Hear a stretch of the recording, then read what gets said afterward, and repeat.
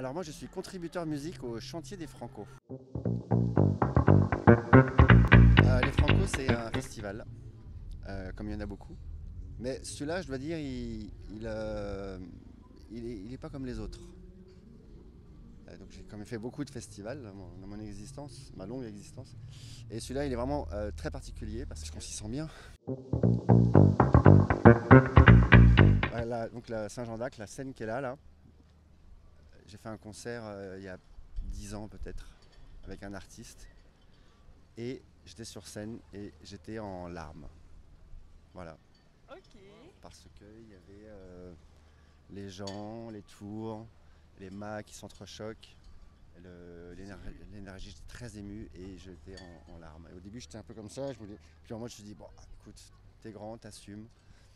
Je me suis mis face publique avec mes larmes.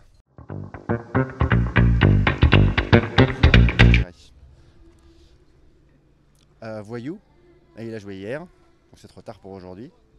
Euh, je recommande fortement Yoa, et avec November Ultra évidemment. Euh, Annie Ada, si, vous êtes préparé. Social Dance évidemment. J'achèterai des bouquins, parce que les bouquins on les garde, ils sont là toujours. Et concerts, ça c'est de l'éphémère, c'est bien aussi. Euh, je ferai des festivals surtout. Et euh, puis je profiterai surtout parce que